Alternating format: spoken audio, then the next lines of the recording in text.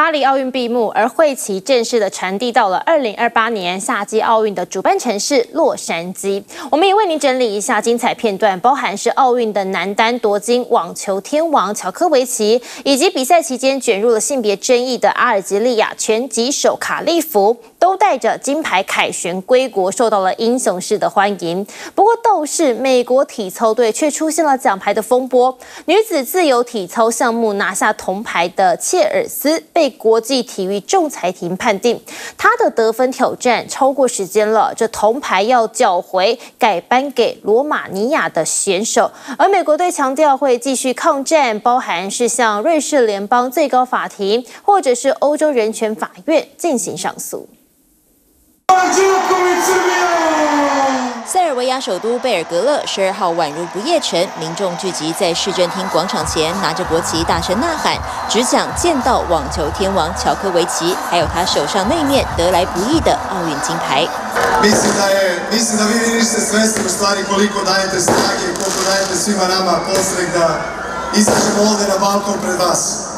Ovo je najlepši osjećaj koji sportista iz Srbije može da doživi.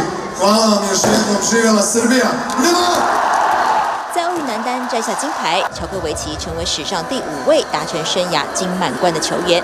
二零二四巴黎奥运闭幕，不少运动员也准备展开人生新的篇章。五度征战奥运的三十岁英国跳水王子汤姆戴利，这次拿下男子双人十公尺高台跳水银牌后，宣布要退休了。他在场边织毛衣的画面将成为绝响。I don't think I, it could have gone any better for me at these last Olympic Games. Coming into this one, everything felt like a bonus already.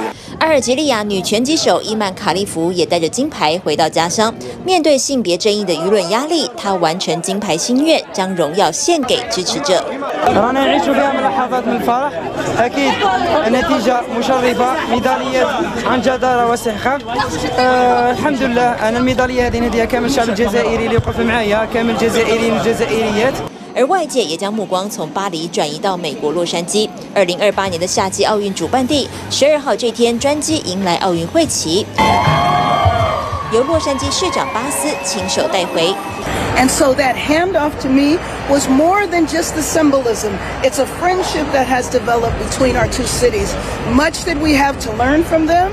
And I think one of the things I'm the most excited about is the way they turned the Olympics in Paris to be the Olympics for everyone. 这是继一九三二和一九八四年后，洛杉矶第三度主办奥运，主打永续发展，将城市内现有的体育馆改为奥运场馆。城内已经能感受到满满奥运热潮。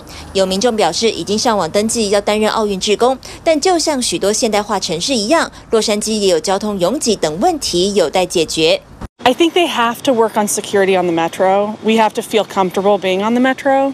Um, I also think they're going to need to work on some of the cleanup of the city and getting, you know, work on the homeless situation, getting people in housing so that it's it's safe and feels like a place that's everybody can walk around.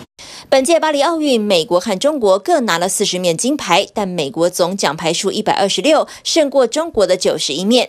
不过在赛后竟然传出奖牌争议，美国体操选手切尔斯在女子自由体操项目拿下的铜牌遭到收回。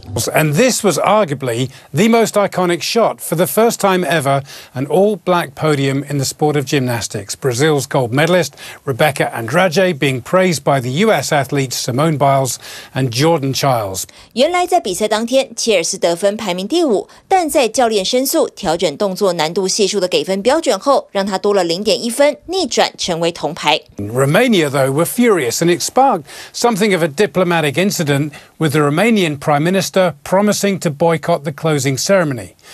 But then the Romanians launched an appeal of their own, taking the case to the Court of Arbitration for Sport, and they won the medal back for Barbosu. The reason that they were successful, well, because apparently the Americans had taken too long with their appeal.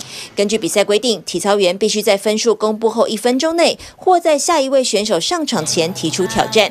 但切尔斯的情况又有些不同。Because Jordan Childs was the last gymnast, she only had a minute. So she had significantly less time to get in this inquiry.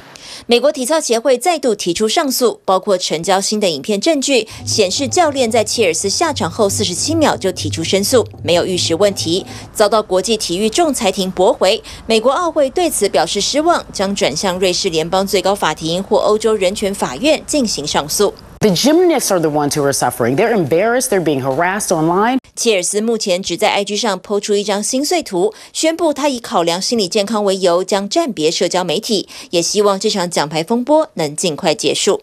TVBS 新闻综合报道。